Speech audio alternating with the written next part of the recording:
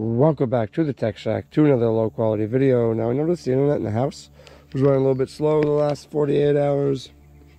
And then once I got out here and rebooted everything, rebooted the house, I'm still only getting about 45 megabit a second. And we are connected directly to the CPE. That feeds the house.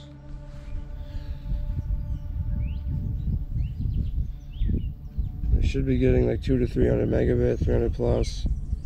We're maybe getting 50 megabit. All right, now that's after replacing the cable um, between the switch and the power injector and actually replacing the power injector in general because I've actually seen power injectors that are going faulty cause issues like this. So that only leaves the cable on the ground. And to confirm that, I set up another PoE injector and another cable. We're gonna switch it with this one that's running out the door temporarily from the main switch. Same switch the other one's connected to. Port right beside it. We're going to wait for this guy to come back up. One eternity later.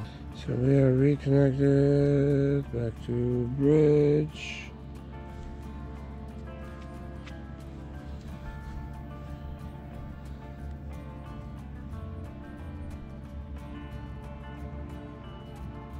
Yep. So we have a bad cable in the ground. Just kind of funny because I have a bunch of cables throughout the property for other buildings that are buried to CPEs and stuff that are actually indoor rated Cat 5e and they've been doing fine for years at gigabit. They'll negotiate a gigabit, they don't have packet loss. And this is a Cat 6 outdoor rated cable with this heavy outdoor connector and it went bad. Now, to be fair, I think it was the cats because when it was here, it was tight against the wall. And when I moved it to this pole, when I tried to deploy that other CPE, that was an absolute fail. Go check out that video if you haven't already. Um, I had to get some more slack for this cable. So underneath the building, it's no longer secured tight. And I have some cats on the property, our cats, but they like to go underneath this building a lot. So I think one of them probably got into this cable and destroyed it. So now or damaged it in some way. So now we're gonna have to trench a new cable between here and there. And I'm not gonna, this is actually the right size. I could go the easy way and just trench it in here and let that go until this one dies. But uh, then it wouldn't be a video worthy. So we're gonna do things somewhat correctly. Now, unfortunately, the only bulk um, cable I have is indoor. Right, so this is outdoor 6A, while it does have a downgraded connector compared to the 6 cable that's Cat 6 cable is buried now. They're both direct burial, and this one is 6A, so it has the spine. So this should be great for what we need it for. It is way too long, so we're going to leave one end with this molded connector on that connects to the CPE, and the end that goes in the house is the end we're going to cut. Now we're not going to use a crimper and crimp out a new end. I do have a crimper and a whole bunch of these guys here, these pass-through crimps. But instead, we're gonna use this.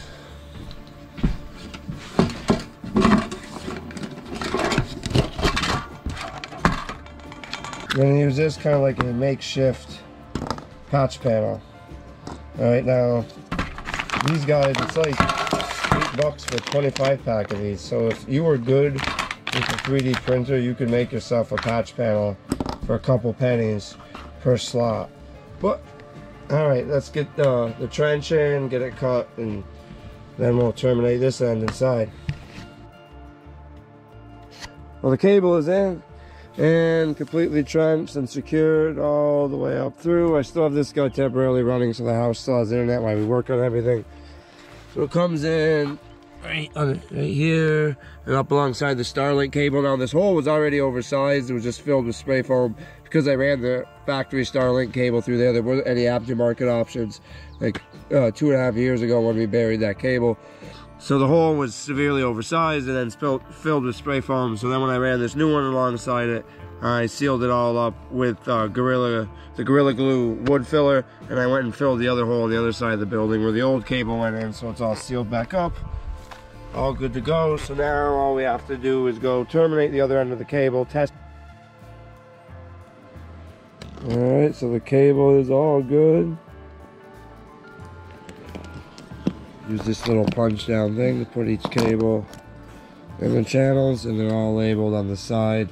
Now when you're doing something like this and you're connecting a uh, molded end and then you're patching in this end, if you want to be sure, double check what wiring scheme they use. If you just connect the first two pins and then double check that that correlates to pin one and two with the tester before you continue on the rest.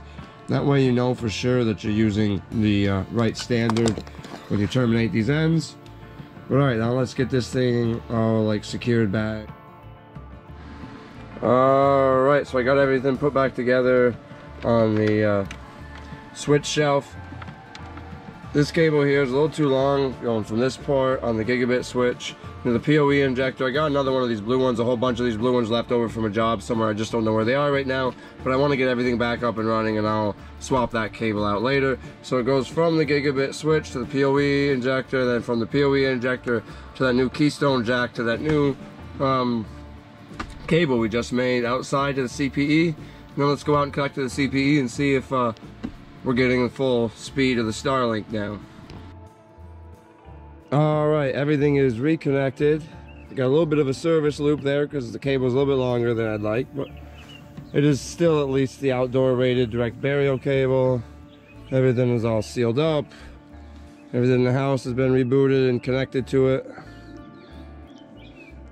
So the house, it might run a little bit slower than earlier because everybody in the house is home and now on the network that's connected to this, but we are connected directly to the CPE and we will see if this was all for nothing.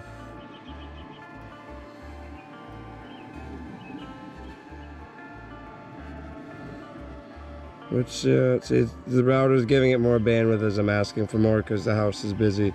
So it's taking a little bit longer to ramp up, but yeah, well over 250 megabits, so I would say mission accomplished. Plus everything looks a lot neater where it comes in now. But that is it for this low quality video. I will see you guys in the next one.